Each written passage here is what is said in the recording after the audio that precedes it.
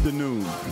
Welcome to my podcast, Hidden Figures Behind the Numbers with the Restaurant Scientists. My name is Jason Wallace, and we're going to take an in depth look into the economics of the food service and restaurant industry. I first need to start by giving a shout out to my sponsors Cornerstone Business Labs, Cornerstone Productions, and Cornerstone Media. The objective of the show is to examine the economic disparities and inequalities impacting black food service professionals and restaurateurs. Our discussion will examine the financial data and the statistics behind the economics of blacks in food service. We will identify and expose racially biased pain points, detours, roadblocks, and rabbit holes. Our goal is to promote equality and help dismantle racial, racial bias in support of blacks for upwardly mobility to executive level jobs and entrepreneur opportunities. Uh, we will support and empower black food service professionals and restaurateurs by providing opportunities for greater visibility, access to funding and capital, and problem solving expertise. We live on the intersection of Opportunity Street and Resource Boulevard. Today's session, episode one, season one, is titled Celebrity Chefs. We will give a definition of celebrity chefs. We will talk about the mediums, television, radio, and print. We will talk about recognitions from awards, Michelin stars, James Beards, New York Times, Chicago Times, LA Times. And we will talk about the perceptional optics of the expert and the authoritarian uh, superiorism of once you have that title of celebrity chef, what does it mean? What, is, what does it send to the American public in terms of who you are um, and your, your level of expertise? Today, I'm honored to have two extraordinary chefs who I'm pleased and proud to call friends as well as colleagues. I have Chef Marvin Woods, a 20 year food service veteran in the hospitality and restaurant industry. Chef Woods began his career at Harrah's Trump Plaza in Atlantic City. He's worked at Rockefeller Center, the Sea Grill, Windows on the World, Arizona 206, Cafe Beulah, and Cafe Orbit. He also has led the Helm and Kitchens in London, England, and the Milestone Ho- uh, Hotel in Savannah, Georgia the National Hotel, both in Miami and in infamous South Beach, the Westin. Uh, he cooks as a personal chef and has cooked for a personal chef of Oprah Winfrey, Martin Lawrence, Jamie Foxx, Alonzo Mourning, and a host of families, celebrities, and dignitaries, including President Barack Obama. There's a bad boy. Woods consulting arm, Mad Flavors, offers businesses his extensive experience and expertise on anything food and hospitality. He consults on restaurant projects of all phases in corporate and independent operations. Marvin Woods, welcome to the show. What's up? What's up? What's up? Thank you. How's it going? Thank you for being on the show, Chef. There now, we go. All right, well, there's the clap. here, here, here's we go. So, my second guest is also distinguished Chef Timothy Dean. From dishwasher to highly regarded fine dining chef, Timothy Dean has learned values along the way. He has distinguished himself as a talented chef with an innate sense of preparing fine food and for never wasting an ounce of it for higher food cost. His first introduction to fine dining cuisine came on one of the finest restaurants in the country, a position as sous chef for Jean Louis Palladin at Jean Louis' restaurant at the Watergate Hotel in Washington, D.C. Throughout his career, he has learned the business and management skill sets necessary for restaurant ownership. Timothy Dean went on to open several restaurant ventures. The first was the Laguna Beach, was in Laguna Beach uh, with Norm Nixon and Denzel Washington. Next, he opened Palladin in New York City. And in April of 2000, Timothy launched his namesake restaurant in the St. Regis Hotel, Timothy Dean's Restaurant and Bar. It has been almost two decades since opening Timothy Dean's restaurant, and chef has gone to establish many more diverse restaurants throughout the D.C., Maryland, Virginia area, including Timothy Dean's and Bowie, Maryland. I welcome my friend Timothy Dean to the show. I got claps. I got the claps. Yeah, you got the claps. You got the claps. So yeah, so gentlemen, um, again, thank you for coming to the show. I'm honored um, that you're here, and you know, my first show, which is obviously my inaugural show, is is is monumental to me, and the fact that you gentlemen decided to be on the show um, means means the world to me, and I and I really truly thank you. Thank you for having me on, man. I'm happy to be here. The the goal now is for us to act like you know we're just talking amongst ourselves like we do, right? Like we like do. like like like black men, like chefs, like brothers. And it's funny, you know, because sometimes we can go years without seeing and talking to each other, but when we do connect, it's as if we just spoke yesterday. And Timothy brought that to my attention when we spoke a couple of days ago about the show. Um, so, gentlemen, um, today's episode is about celebrity chefs, right? and I have a definition here of what a celebrity chef is, right? A celebrity, this is not my definition, I just pulled this from Webster's dictionary, right? A celebrity chef is no ordinary chef, while a regular chef spends his time planning menus for a restaurant and preparing meals there. He or she travels the world to open new restaurants and promote cookbooks. Such a chef is likely to have at least one television show and a line of products bearing his or her name. So, you know, you and I, we all go back pre the Food Network, early 90s, late 80s. And at that time, being a celebrity chef was cooking for a celebrity, right? right? Such as Bill Cosby or Denzel Washington or someone like Patrick Ewing or those guys. Um, and then this industry was created. So I kind of want you guys to kind of dive in and talk to me and our, my listeners about your experience as a chef, um, pre celebrity chefs as a new definition, and and and and post celebrity chefs. Who would like to open up the floor? Well, Marvin's the senior here. so- Marvin's the senior. All right, so let's. Here you go, chef. I'll, I'll open up the floor. And you know, um, I don't know when Webster wrote this definition, but even back in the day, I felt that a celebrity chef was more than just somebody who um, worked in a restaurant and had PR paid for them to get their name in the newspaper. Right. So, you know, as you guys know, and as we gonna tell your your listeners, et cetera, right.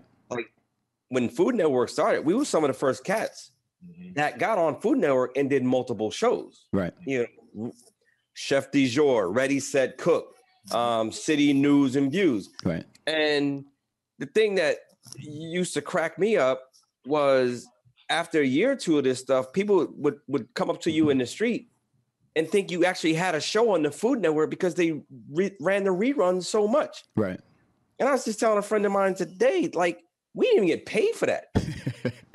like that, yo, like free, free, free. Crazy. That was that was go buy the food, Yeah. come to the studio, Right. prep it yourself, Wow. shoot it. Yo, Wow. So you had to buy you had to buy your own my- my ingredients, your raw ingredients. you had to buy your ingredients. Wow. You had to buy your own ingredients. Chef Dean. And so Go, I'm sorry. when I did my first cookbook, Yep. um, that's when I felt okay. The separation was okay. If you are building a brand or have your own brand that that that stands you out separately from cats that are just cooking, okay, then now you can start thinking about calling yourself a celebrity chef or or you know Right. traveling, getting speaking gigs, etc. Okay, yeah, that's legitimate celebrity chef in my mind. But but Right. guys that work for celebrities, because a lot in in today's age, they don't have a pedigree. Oh, and by the way, uh, you said twenty years, but I got thirty years plus Okay. in this at this stage of the game. Yeah. And so, you know, these these young people that are working for celebrities now, they might have three, Right. five years in the game. They might have gone to culinary school. They might have not finished culinary school. Like, you know, they they don't bring to the table what we bring to the table. Right. Okay. TD, tell them.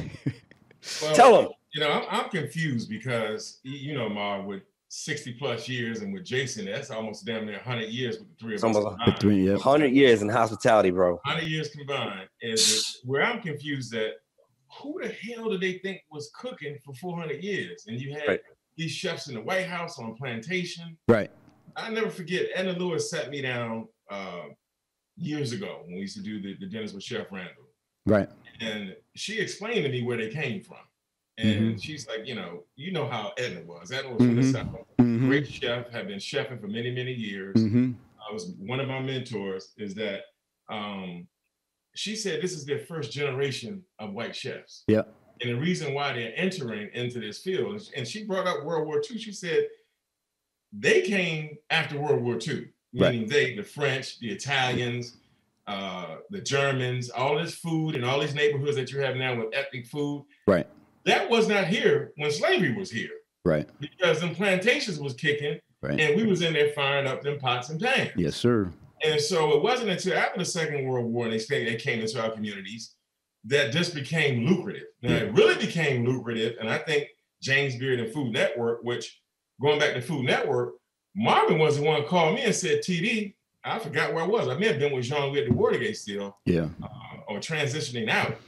And he said, uh, "You need to go on and do these shows. They're looking for some chefs." And that was Ready, Set, Cook, Okay. and Chef du Jour. Okay. So Marvin made the call to get me on the show. Right. Okay, that's how far we go back and even further. It, it- what has happened in recent times is it's become so damn lucrative, and I start seeing it in the, in the, in the late '80s, early '90s when these new chefs coming out of CIA, you know, Right. and I start seeing the Caucasians coming in and thinking they know how to cook and didn't know shit. Right. And working with Jean Louis and Gunter and all these guys, they stripped them down to nothing. Right. You know, you get in the kitchen with a real chef like that.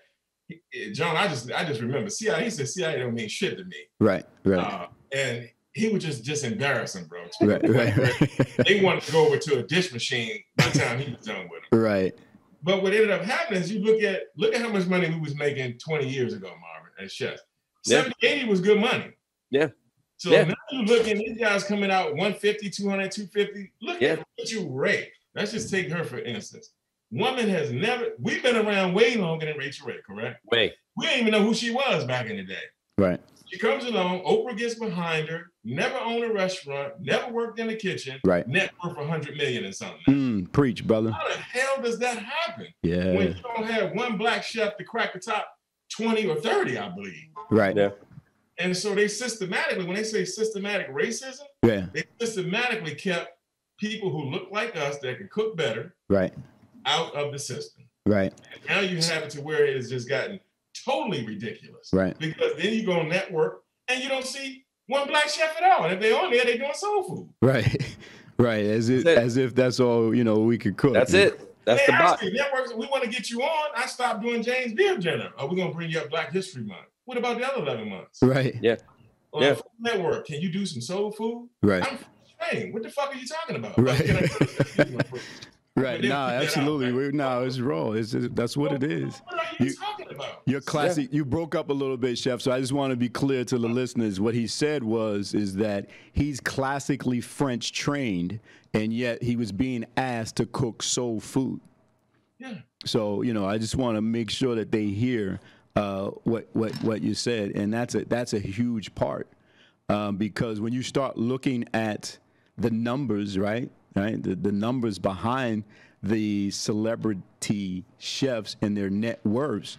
Um, you know, the first thing we have to talk about is intellectual property. So I just kind of want to let you guys go. So celebrity appearances, speaking engagements, private performances, right? Uh, product endorsements, um, special events, corporate entertainment events worldwide. So, you know, when you guys were being exposed at that point, talk to my listeners about what happened and, you know, how come those things didn't parlay over into greater opportunities as if you know the definition said at least one show and and cookbooks and and opening restaurants around the world did that any of that parlay over into either you guys um, being that you were both highly french trained and you know high high end high end chefs So for me, I can I can definitely say that um, I, I've had a blessed and and fruitful career. Yeah. Now that being said, I'm not on that list that that that you have in your possession that anybody can go see who the top celebrity chefs are. Right. Um, and and I make no concessions to say that to me it's directly black specific. So my story is this. Mm-hmm. So I had my first cookbook out. Turner South, which is no longer around, but it, Turner South was uh, a network that Ted Turner started. So Mm-hmm. for those people who know know who Ted Turner is, if you know what CNN is and TBS is and TNT is, Mm-hmm. then you know who Ted Turner is. Right. All right. So Ted Turner started a network called Turner South. He also owned the he also was the owner of the Atlanta Braves. And so roughly around 2000 2001 I was in Miami, had a restaurant called Mhm. M Woods. Mm-hmm. I get a call, would you be interested in doing a show? Mm-hmm. Of course. They fly me up to Atlanta. I do the show. Um, show takes off. Got to the point where I was three years in doing this show. It's a Mhm. national show. Okay. Only African American on television at the time with a national cooking show. Mm-hmm. Had seven million viewers. Mm-hmm. So one day a uh, agent comes in Mhm. from New York Mm-hmm. who lived near my restaurant. We talking. And in the restaurant, I always played footage of the show. And he's like, Where's that? And I said, Oh, well, I'll shoot it in Atlanta tell him the whole deal. Speed up the chase. He goes, You should be on the Food Network. Mm-hmm. Yeah, I know that. I said, But it's not going to happen. He said, What do you mean? Because once again, he doesn't look like us. Right. Well, what do you mean? Right. I said, man, that network has been up and running for nine years. They ain't never had nobody on there look like us, Right. look like me. Right. Especially Said cooking that level of food. Okay. Mhm. Right. He's like, I'll make some calls. He goes, I can get you a meeting with the with the with the vice president of, of programming. Mm-hmm. I said, okay, make it happen. Two weeks later, I fly to New York. Mm-hmm. I go to a meeting at the Food Network. And two people walk in the door, Mhm. the VP of programming and, and another cat. Mm-hmm. We get through the niceties. Hey, how you doing? Da da da da da. All that good stuff, right? Mm-hmm. And we, so they go, um, so and so called, said, uh, you know, we should take this meeting, this, that, and the other thing. Well, what are you working on? So I tell, I got a restaurant. I got a restaurant in Miami, white tablecloth, 80 seats. Right. Oh, what kind of food you doing? African diaspora. Mm-hmm. Eyebrow gets raised. Mm. What's that? So, okay, you're not familiar with diaspora, Right. so I'm gonna drop some knowledge. Diaspora is a Greek word, means dispersal of people. Right. First time word was used was used for the Jews when they left Palestine. I use it in terms of African people. Right. So the African diaspora is anywhere that blacks were transported through the Middle Passage. Right.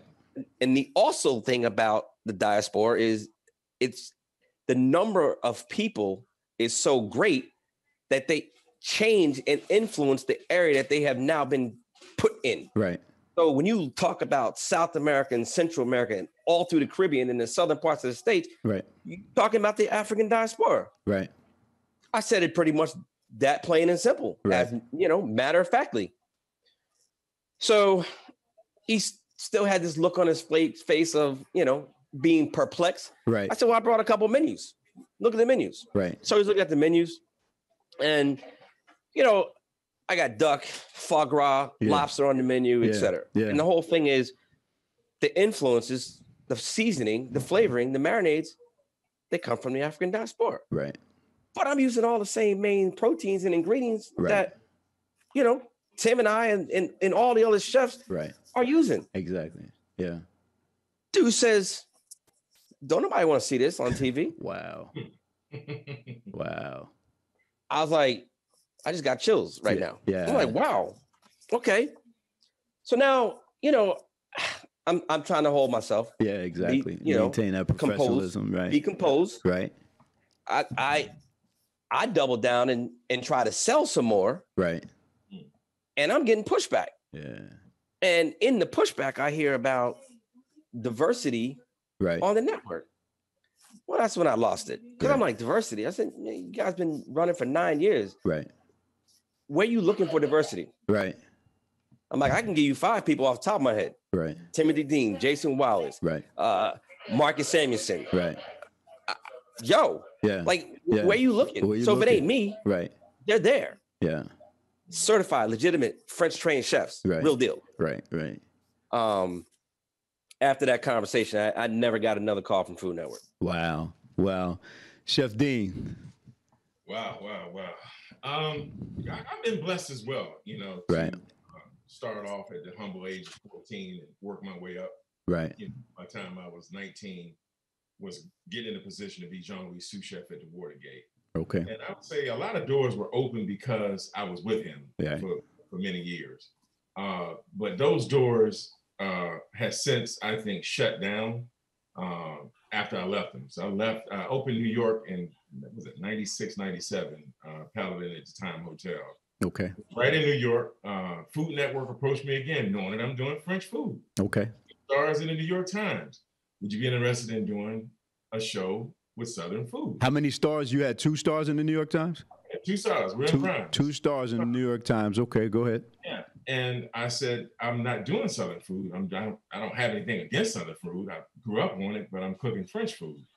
Um, so the doors have been open for me, Yep. uh, so to speak, uh, but they haven't been fully open. Right. So I take someone like a Bobby Flay Right. or or or uh, Boomgarden. What's her name? Emma Boomgarden, the one that's up in the Hamptons. Yep. Worth 40 something million. hmm The doors haven't been open like that Right. the Rachael Rays. And so the time has come now where I'm glad you're doing this because someone needs to get out here and tell the truth, just like Black Lives Matters. Yeah. It's not just in the food industry, Absolutely. but this needs to be addressed and it's being addressed now. But they just just seem like it's no regard for Absolutely. Any of the stuff that we did in America, including being enslaved 400 years Right. Right. and not getting paid for it, including cooking all these years and coming up with great food. And I'm very proud of soul food. Right. Okay. Our, our ancestors took something that was basically garbage. Right. How they call it chitlins, Right. pigfoot, you know, Right. Right. trout, the, the, you know, the snout, Right. and made a cuisine out of it.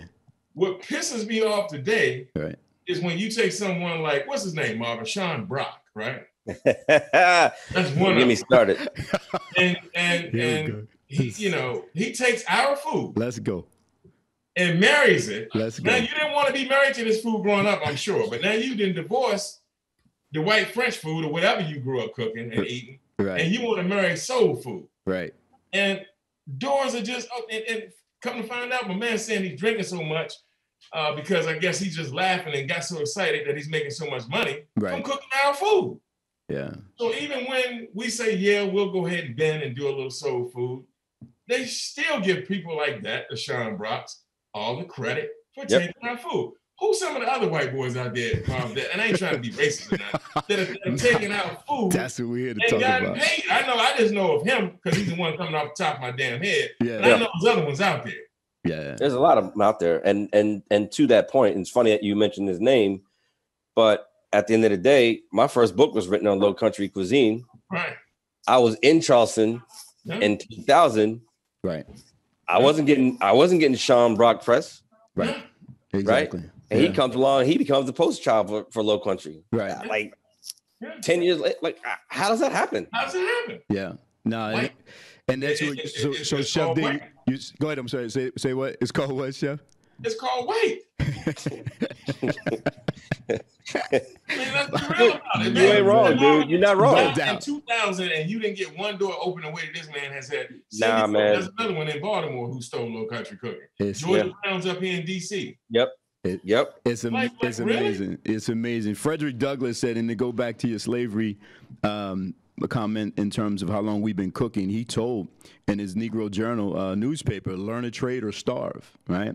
Because I had st- actually started a company once called Latos Communication, and I took it because he said that whites were beginning to enter into professions and jobs that were being paid that we used to do for free. Yeah. So learn a trade or starve, you know, kind of goes back and speaks to that. So when we talk about the economics, which is what the show was about, uh, again, I want to highlight what the what, what what Chef Dean and Chef Woods is saying in terms of these. This talent is supposed to parlay itself over into intellectual properties that we can now monetize over and over again through residual income. So you're talking about in the courtroom, the judge is the authority, right? Because he or she is the most knowledgeable, right? In the operating room, it's the doctor.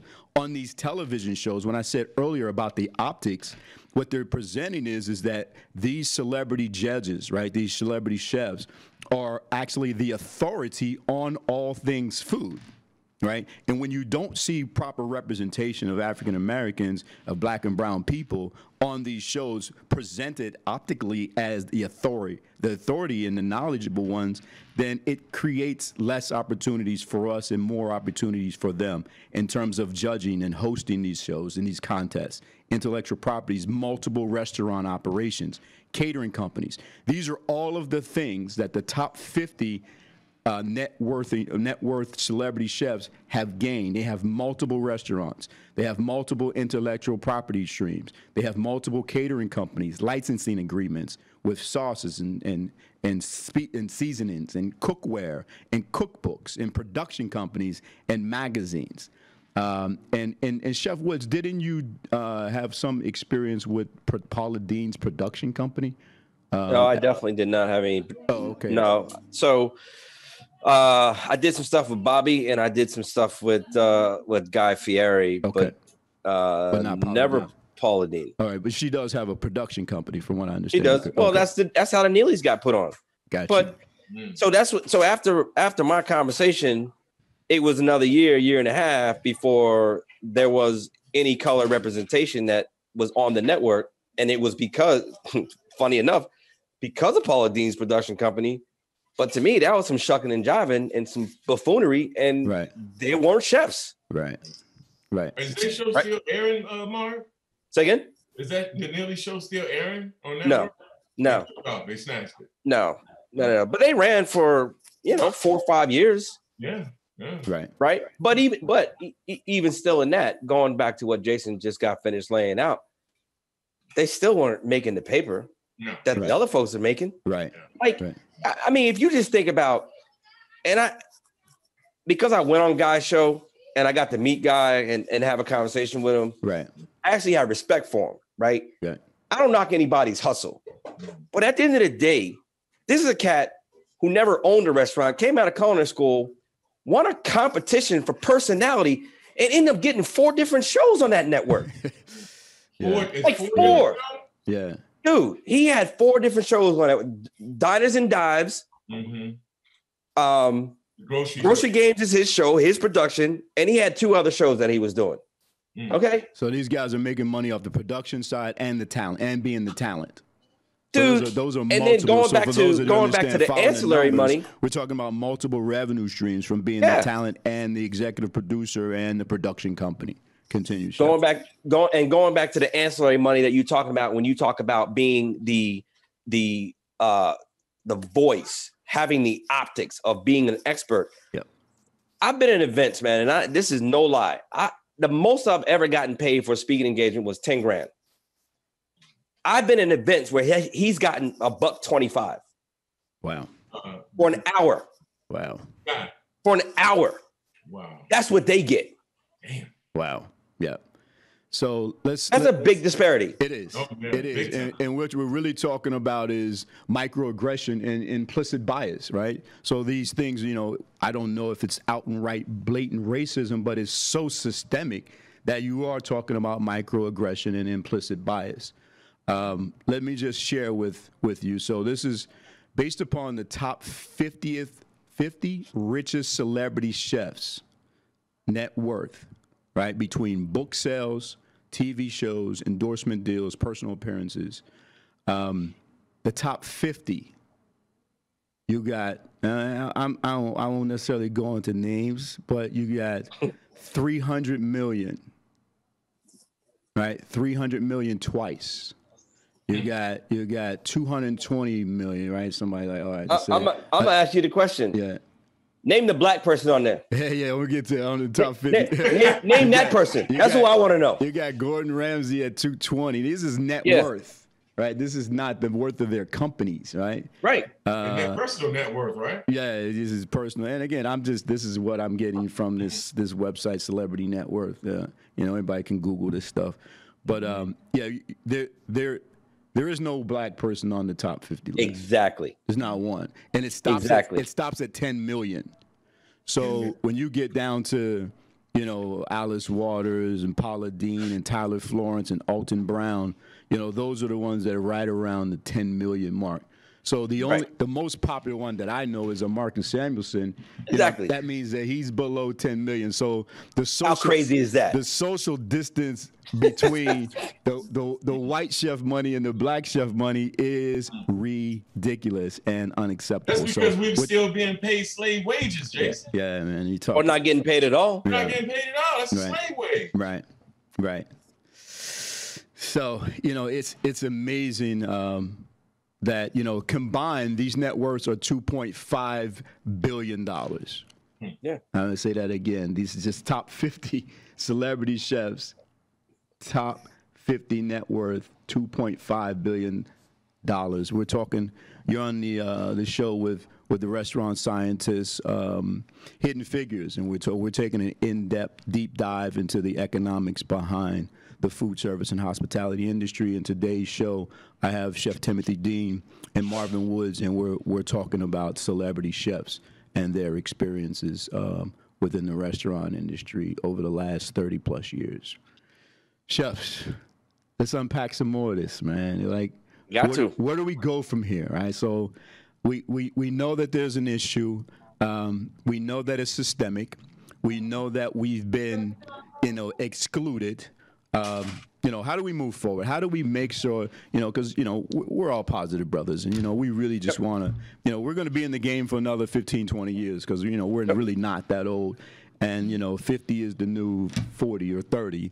Um, what, how do we make sure that we're not in this position in 2025 that we are in in 2020?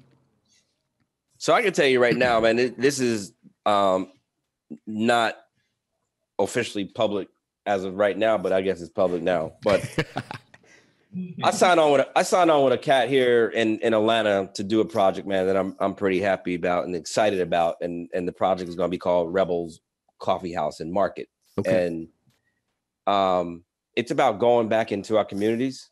Okay. It, it's about um, teaching, hmm giving back, hmm incubating businesses hmm and educating. So eh, let me break it down. We're going to set up a, a, a market. I'm doing a full on butcher shop, um, produce market, fresh eggs, the whole nine yards. Okay. Um, all the food is sourced by black hands, meaning all the farmers that we get food from is from black hands. Awesome. We partner we partner with a high school called Washington High School, which is a which is a uh, tech high school here in Atlanta Okay. that has a culinary program. So, you know, we we talk about what we do. Um, there's a lot of chefs that don't know how to butcher. That's a lost craft. Mhm. Yeah.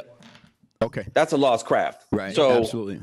I'm bringing in sides of beef. I'm bringing in a whole pig. I'm bringing in, you know, livestock and going to teach these young people how to butcher because that's a lost craft. Yeah. Absolutely. and I'm driving this from a market standpoint. So we partner with the USDA. I'm in the process of getting my HACCP certification because we will use food stamps. Okay. So if you if you live in this community, we're on MLK. Okay. okay. So if you live in the community, you get a community card. So you look like us, you come shop, you can use your food stamps to get Okay. real whole food. okay? Right. there's an education component to that too Yeah. because i've always said that the reason why people of color lead in all health disparities in this country 50% of that if not more is because of lack of education Oh. if you're not educated on what to eat you're not going to make changes you're not going you're not going to do you don't feel like you have any options or choices so Right. you're just going to be in that box and do what you do Right. right Okay. perfect example is two blocks down the street from us in this neighborhood is a Walmart. I'm sorry, Walmart's not a grocery store to me, Right. But that's what they give us. Right. So we got to go back into our communities and and inject all of this food, education, incubate jobs, teach young people how to do this, man. Because whether it's COVID or not, the one thing that is constant people got to eat. Right. They ain't got to eat at a restaurant, Right. but they got to buy food. Right. No, So- absolutely. That's good work, got Chef. You got you got to go from the you got to go from the ground up. That's good work. How do people get in touch with you? Uh, Chef Marvin Woods at Gmail is is uh, my email address. All my handles on every social media, Chef Marvin Woods, IG, Twitter, LinkedIn, Facebook, all Chef Marvin Woods. Okay. Um, and you know, I'm I'm I'm I'm about to change the game with this yeah. because we're gonna do multiple cities with this concept. Yeah, that sounds like wonderful work. Chef Dean, how do we move forward? I think, uh, and, and, and kudos, Marvin. That is beautiful, and I look forward to coming down there and supporting you with that. Uh, Thank you, my brother. and, and and joining in and grabbing my knives, which some of these Exactly. millennials don't even have knives, and help and show them that you got to start with a knife, That's it. uh, and, and, and help you with some butchering, my brother, and some filleting some fish, so they can learn. There you Uh, go. Where do we go? Right now, that what the world is seeing, not just America, Right. is, in my opinion, personally, God is pissed off. Okay. And with the restaurant industry, all these guys that I work with throughout the years, the Eric Riperts, uh, the Daniel Bouluds, all these guys that have been in that circle that I've seen are all taking a hit right now Right. with coronavirus. Yep. I think right now is is epic because it's leveling the playing field. Yep. Because so many of them guys are not going to be able to come back with their multiple restaurants.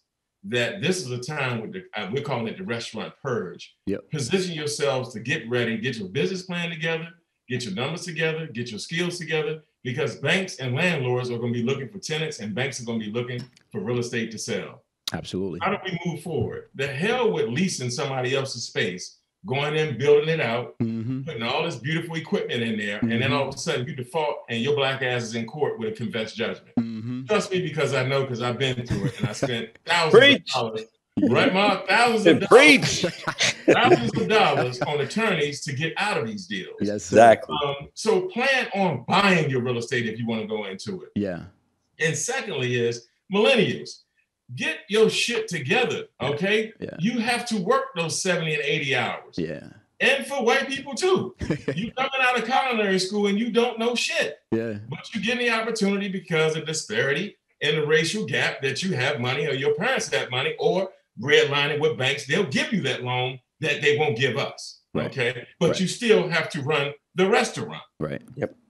Where I'm heading now is I'm going more. We're taking we temporarily closed Bowie location, Okay. and they're still trying to negotiate because I'm saying, why would I give you ten thousand when I can spend a thousand and sit down with Whole Foods, which I got in one hour, to Right. go and do my sauces and soups with them, and they're looking for licensing agreement people to go in. There's more. What what we've done, Jay Wallace and Marvin, is we kind of got because we're ancient. Yeah. I'm not. I'm not ashamed to say that. We're in our fifties. Is we grew up in the restaurant industry. Yeah. There we So go. That's what we know. Yeah. That's what we were sticking to. Yep. Yep. But it is a tough business. Yep. One or two restaurants is not going to make you rich. Nope. It's too much cost involved. We now have to pivot Yep. and focus on TV shows. Let's go knock on the damn door to Food Network saying, let us in. Absolutely. Okay, let's go knock on the doors of the bank and say, let us in. Absolutely. We've been here. We Right. just asking for the opportunity. We're not Yep. asking for no damn favors. Right. Don't want no handout. No, No. since we only know restaurants, that's what we do, guys. Yeah. Yeah. We I'm learning to pivot. I'm now focusing on Marvin. I've been focusing on sauces, Yeah. I- I'm focused. cookbook, and Yep. now licensing agreement because Yep. we're not getting any younger. I was telling them I can't sit back and do 80 hours a week Right. cooking behind the stove no more. Them days are behind me. Yes, sir. And Absolutely. moving forward, we have to, as, as Marvin pointed out, educate ourselves not on just feeding our stomach, but we got to start feeding the most important muscle in our body, the brain. Mind. Brain. Yep. Absolutely. So that's where we go, in my opinion, is look at multiple things that are out here because look at in our 50 years that we that I've been on this earth, guys, Right. I've never seen anything like this in the restaurant industry. No. Right. Well, we're sitting back waiting on a on a government that has Trump in it to give us some money to survive. Yeah. Shit, Yeah. I rest my case. Absolutely. Yeah, when the Absolutely. sauces are ready, you got to send them down because I put them on the shelf, man. Yes, You know what I'm saying? Chef, how do Chef Dean, how do people get in touch with you? Uh, TimothyDeanBowie.com, uh, Facebook, Twitter, and all that stuff is Timothy Dean Restaurant. Uh, yeah, I know I ain't a big computer guy, so I'm, I'm Right. just learning all this stuff. I'm glad I got on Zoom and y'all can see me. Uh, but yeah, Timothy Dean Bowie is the uh, website, and then Facebook, Instagram, and uh, any other gram is Timothy Dean Restaurant. Got it. I got it. And we'll double back on that. And again, my, to my listeners out there, you're on uh, behind the behind the scenes with uh, behind the numbers with the restaurant scientists. I have executive chefs Timothy Dean and Marvin Woods here. And Chef Dean, you brought up on on a very important point in terms of these leases versus real estate, and which is one of the reasons why. So my experience was coming out of the CIA. Um, I now have basically, I have not basically, I have three degrees in food service and restaurant industry. I saw that. That's thank you, thank you, the, thank the you. The hands are cheering. The editor fell asleep with a yeah, cheering. Yeah, yeah, we got, we got to get the. Oh, they, they didn't hey, fall asleep on it. Yeah, ah, there it is. There it is. There it is. okay, right. So you know the culinary arts degree, you know the bachelor's in restaurant management and the master's in food business. And one of the things that is really important that you said is understanding the real estate game. About yep. ten years ago, I started. Um, I actually I bought a commercial property, and that's kind of how I learned the real estate game and mixed use. I had a bar and liquor store downstairs and six apartments over top, and that's when I decided to go back and actually get my real estate license. So, you know, for the last 10 years, I've been licensed in both New York and New Jersey in terms of of commercial real estate. And what I'm seeing is, like you said, many chefs are going into raw spaces, vanilla box spaces. They're building it out for the landlord. Um, and the problem is, is that the landlords are greedy, right, and uh, un, unwilling to understand that the restaurant industry is not a retail business, right? It's not Walmart, it's not Walgreens, it's not Macy's, it doesn't sell sneakers, right? Where in those businesses, they don't manufacture anything. What they do is they buy already prepared goods and they resell them. In the restaurant industry, we manufacture right? Raw, we take in raw products in the back door, right? You're bringing in vegetables and proteins, and you're manufacturing them into an end product while simultaneously marketing it to the end consumer. So a retail lease is really not applicable to a restaurant um, because of the margins, the costs, the food costs, the labor costs. Those margins are totally different. So it is important that as we go forward, that restaurateurs really understand the real estate market, and in those situations where you can buy and build, you're better off. And as you said earlier, Chef, the as a result of the the COVID purge, post COVID, I would say by next summer, um, there will be a plethora of second generation restaurants on the market ready to be taken over at 25 cents on the dollar. So now the exhaust kitchen hoods are already there. The electrical, the plumbing is already there, which you know, you know, would cost you over $200 a square foot to build from scratch.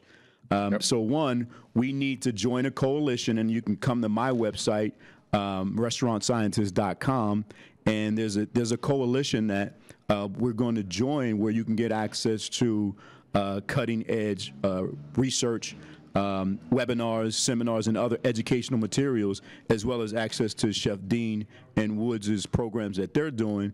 But we, you know, we're, we're uniting as as an industry of black professionals to kind of speak out about what is, you know, what are intellectual properties, patents, copyrights, trademarks, trade secrets, and rights of publicity. Uh, what are licensing deals, and more importantly, how do we parlay our our skill sets over into generating revenue so that we mm. truly can build wealth and we can narrow the social distance gap between uh, white food service professionals and black food service professionals. Um, chefs, this has been so exciting. I actually, uh, you know, we, we, we got to do this again. We got to do this some more. As Would we, love to. As we wrap up, any any final, give me final words from from from both of you gentlemen. Well, man, I, I want to thank you for allowing me to be on. I think, you know, what you what you're doing, what you're working on is is much needed. Thank you. TD, you know, I love you, man. I'm glad to see you and, and keeping in the fight and and love you back, brother. Yeah. There's there's strength in numbers. Absolutely. So we got to keep this dialogue going. We got to keep pushing the envelope. Uh, we got to keep uh, banging on the doors and trailblazing. Yep. And trailblazing. Absolutely. got to. Right. It's a social mission. Uh, and, and my soul is not happy right now. Um, so this is really about advocacy for me. It's really yeah. about advocacy. Chef Dean, the parting words. First off, uh, Jay Wallace, thank you. Like I said the no other problem. day, we can pick up the phone and it could be 10 years. We yeah. can pick up where we left off without missing a beat. Absolutely. Uh, honored to be on with my brother, Chef M. Woods. Yep. what I would like to see is we got to keep this dialogue going. Yeah. But just like the Black Lives Matter movement came along. Yep. I remember BCA, Black Culinary Alliance. Yes, uh, sir. back in the day, was very proud to to be involved in that. Is we got to come up with something new now, guys, and we got to come up with something on a uh, something that's mass like Black Lives Matters, Black Chefs Matters, Absolutely. Black Customers Matter, Right. and go and knock on the door of Food Network Right. And and and be determined to sit back and I can get I can get Joe Madison on this. I can get a lot of people on it. Right. Uh, as far as media and TV is concerned, okay. to look at the disparities that we're going through right now.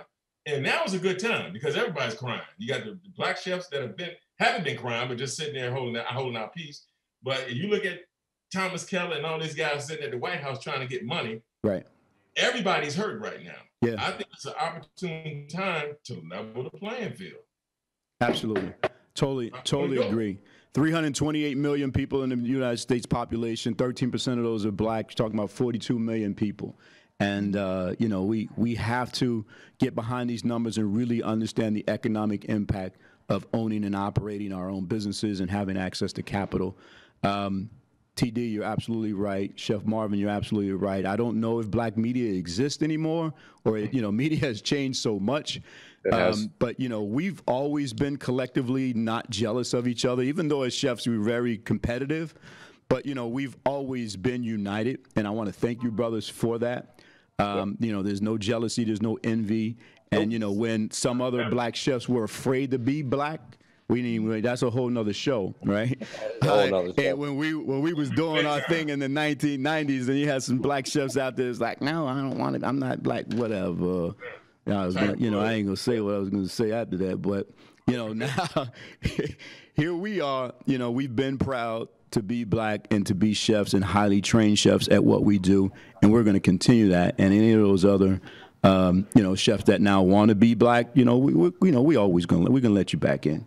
You know what I mean? Yep. We we don't get down like that because it's bigger than us. This is about advocacy. This is about a social mission um, that you know we need to do for the next generation of of black food service and hospitality professionals. And let me also say, we're not excluding our Hispanic brothers out there. So when we say black, we really mean any of the Caribbean uh, Yep, nations, right? So we're including all Caribbean nations. Um, so you know, just just so you know, for our Hispanic brothers and sisters out there, you know, we're not excluding you. It's just in terms of us, you know, it, it- you know, either you're black or you're not. you know what I mean? So uh, you know, that's the way we get down. Um, we welcome everyone with open arms, and we're just trying to help ourselves, you know, before we can help anybody else. Amen. All right, gentlemen.